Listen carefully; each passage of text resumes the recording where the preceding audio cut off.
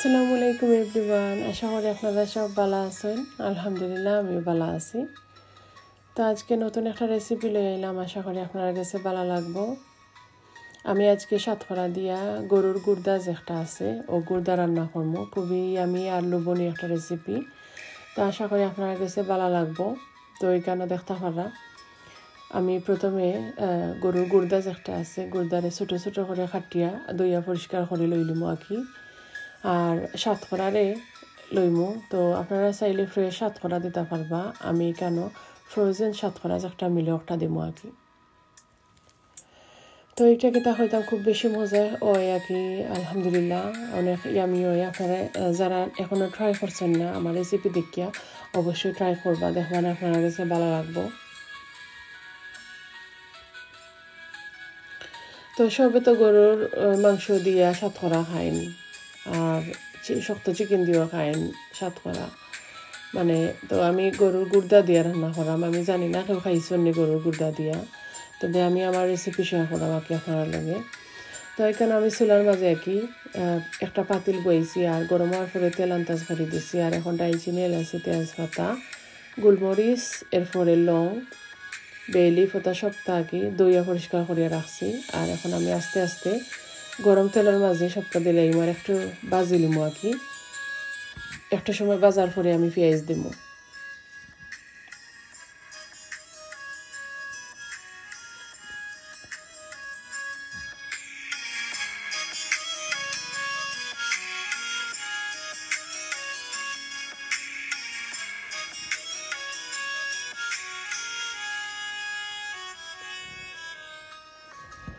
তো গরম তেল আগে আমি দিয়া বাজে নিলাম একটা সময়।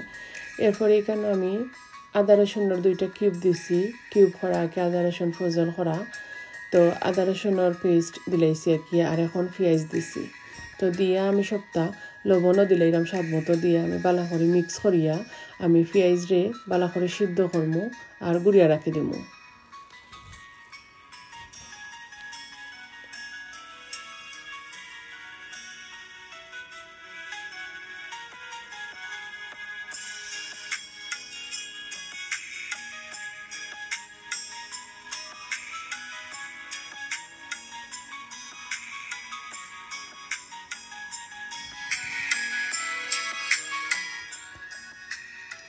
তো এখানে দেখতে পারা আমার পেঁয়াজ খারাইন, নরম হয়ে গেছে কি সফট হয়ে গেছে।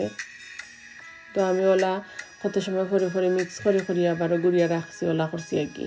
তো এখন আমার সকল মশলা যেটা আছে ওটা সপ্তাহ দিলাইরাম হলুদের পাউডার দিছি। আমি ওয়ান টেবিল স্পুনের মতো নাকি ওয়ান টেবিল স্পুন তাকে সামান্য কম আর মরিচের পাউডার দিছি ওয়ান টেবিল স্পুন এখন রাঁধুনির যে মিক্স মশলা আছে যে একটা মাংসের মাংসের মশলা কিকটা মিটর মশলা, ওটা দিলাম আমি।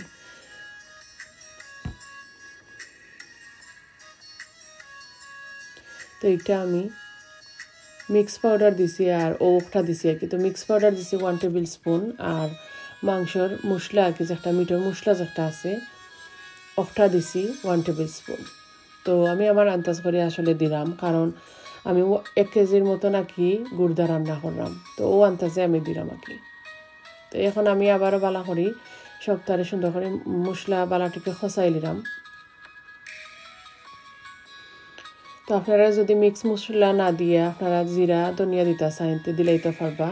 টু টেবিল স্পুন করি। ওয়ান টেবিল স্পুন জিরা আর ওয়ান টেবিল স্পুন ধনিয়াওয়ালা দিলেইতে পারবা, আন্দাজ করিয়া। কারণ আমি মিক্স করিয়া রাখি দিই মশলা এর লাগে আমি ওলা দিলাইছি আর এখন আমি আমার মশলাকে বালা করে খসানো হয়ে গেছে। আমি এখন হাত করা দিলাইছি মানে সাত আর কি, তো আমরা তো হাত করাও কই বেশি তো সাত করা দিয়ে আর কি আমি বালা করে মিক্স করে লিছি। আর এখন বালাটিকে সিদ্ধ হইতে করি সামান্য পানি দিলাম আমি। তো পানি দিয়া আমি আবারও মিক্স করিয়া দিলাইমো দিয়া গুড়িয়া রাখি দিব আর কত সময় পরে পরে আমি অবশ্যই মিক্স করে করে দিমু, জ্বলতো না করি এখন আমি সামান্য ধনিয়ার পাতা দিছি, দিয়া বালা করে মিক্স করিয়া রাখি দিমু।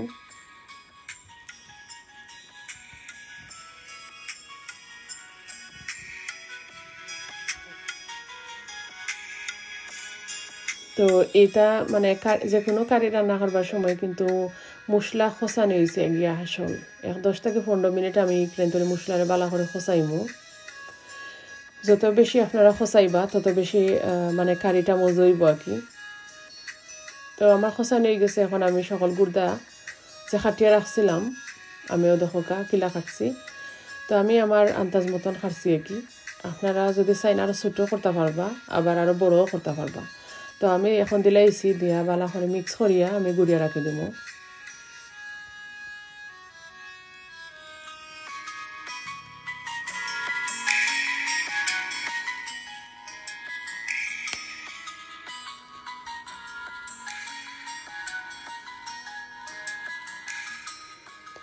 তো আমি কত সময় ফরে ফরে ওলা মিক্স করে করে গুড়ি গুড়ি রাখব আর কি আর এবার মুড়েও ধরতো না করে আর আমি কিন্তু একবারে একটা মিডিয়াম হিটও রাখছি পয়লা আসছিল হাই হিটও পরে মিডিয়াম হিটও রাখছি রাখি আর কি আমি রান্না করছি আর এখন আমি কেন যে টমেটো পিউরে আছে, ওটা দিলাইছি ওয়ান টেবিল স্পুনের মতন দিয়া। পালা করে মিক্স করে নিলাম তো এটা জাস্ট সামান্য কালার আওয়ার লাগি। তো আপনার এটা অপশনাল আপনারা চাইলে দিতে পারেন বা না চাইলেও, না দিলেও হইব আর কি, সমস্যা নাই। আমি আবারও বালা করে মিক্স করিয়া দিলাইরাম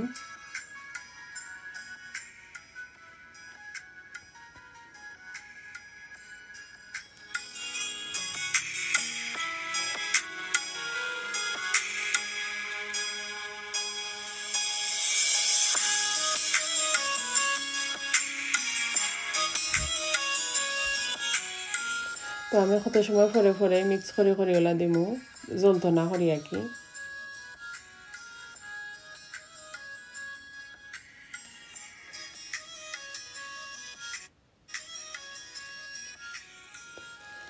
তো আপনারা একবার হইলেও ট্রাই করবা আর এটা কিন্তু রুটি দিয়া অথবা সাদা ফুলাপ দিয়ে খুব বেশি মজা লাগে, আর আপনারা চাপাতি দিয়েও খাইয়া দেখবা, চাপাতি দিতে খুব বেশি মজা লাগে দেখছি।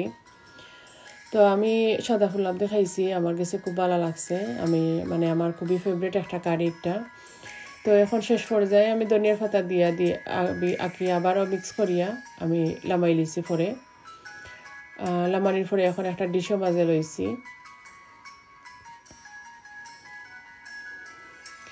আর এটা বাঁকা কয়েকদিন আগে আমার গরো গেস্ট আইসলা, তো আমি রান্না করছিলাম আঁকি আমার ফ্যামিলির সকল আইসলা, তো আমি রান্না করছিলাম। তো আমি লগে আর ওকে মিট বোনাও রান্না করছিলাম ও দেখা এটা মিট বোনের লগে গরু মাংস বোনা রান্না করছি, আর ওই লগে আমার সাত ফাড়া দিয়া গুড়দা। তো দিওটা একলগে দেখাইলাম, কইতে আপনারা দেখবানে ভালো লাগবো। তো আমার রেসিপি ওই পর্যন্ত আছিল ইনশাআল্লাহ আবারও দেখাইব আপনার লগে। আল্লাহ হাফিজ, এভরিওয়ান। আসসালামু আলাইকুম।